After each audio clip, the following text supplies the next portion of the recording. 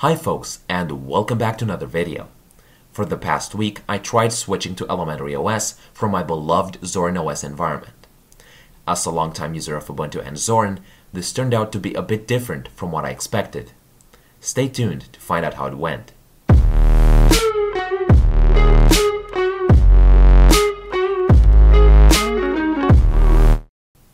Let's start with installation. As with many Linux distributions, it was very easy and straightforward to install the operating system itself. The process I found a bit inconvenient was installing the programs I need to go through the week. When I opened the Elementary App Store, I hoped to find Snap packages too, being based on Ubuntu, resulting in a very large application base. But it turned out that installing my much needed JetBrains suite was going to take a little longer so I proceeded to search for as many apps as I could on the Elementary App Store, and then moved on to installing Snap support by going on the Snapcraft website. I also wanted Flatpak support, since some apps like Visual Studio Code, Atom, and GitKraken, my much loved Git interface, are better optimized on Flatpak. To my surprise, Flatpak support is by default installed on Elementary. It's just that the elementary app store doesn't have the repositories added by default. After that, I had to install some other programs by packages, but the terminal was not a problem. When I tried to install Chrome, since I sometimes find it useful for its node debugging capabilities, I tried like usual with the Debian package, since I don't like the tar file installation approach. But that didn't work out of the box. I had to spend a couple of minutes searching the web to find that I need to install a Debian package manager in order to do that. I installed GDebi.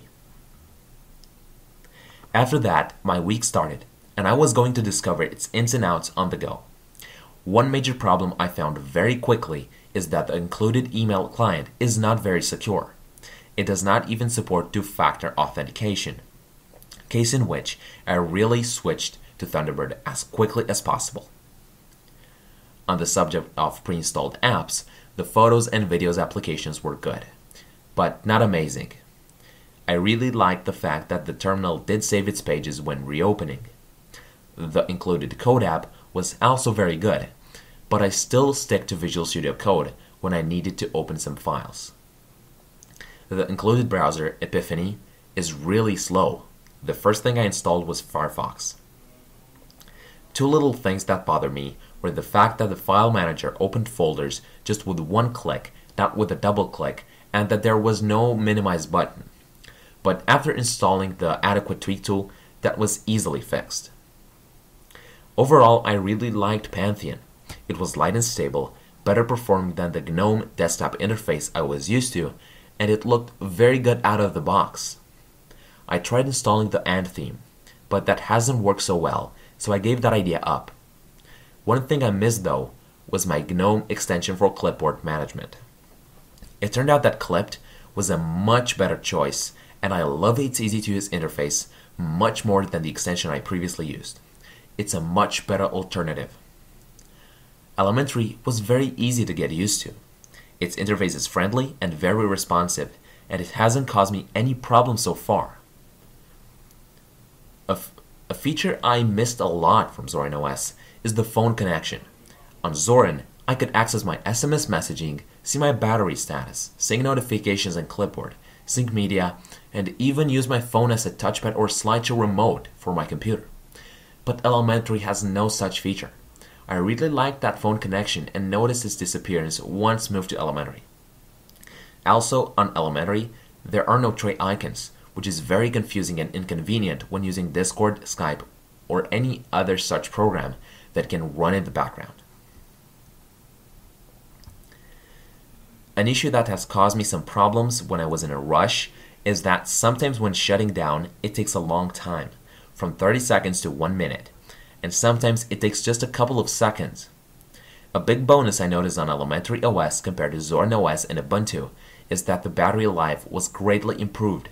Even though, compared to Ubuntu and Zorin, I did not manually limit the CPU speed which makes Elementary a great choice for laptops. A feature I disliked about the interface is that when you have multiple windows of the same program open, unlike Ubuntu and other distros, it doesn't prompt the user with a choice for which window to open. It just opens the last accessed one. And if you want to pick the window, you have to right click the program in the dock, and even then, it doesn't show a preview of the window. Overall, my experience with this distro was positive. I really liked using it and had no problem with its stability. I enjoyed the added benefit of the improved battery life, and its interface turned out great for laptops, with very good desktop performance compared with its parent OS, Ubuntu. I consider this distribution very good and a solid choice for working and internet browsing. It's a very good distribution for Linux newbies and for people who don't really want to tinker with the OS. It's a very good out of the box experience with good applications pre installed. It still requires some polishing and some extra features that could make the user experience better. But overall, it's a solid choice if you want an Ubuntu based distribution.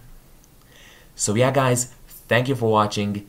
If you enjoyed this video, drop a like. If you want to see more videos like this one, consider subscribing to my channel. So, see you next time on HowToIT.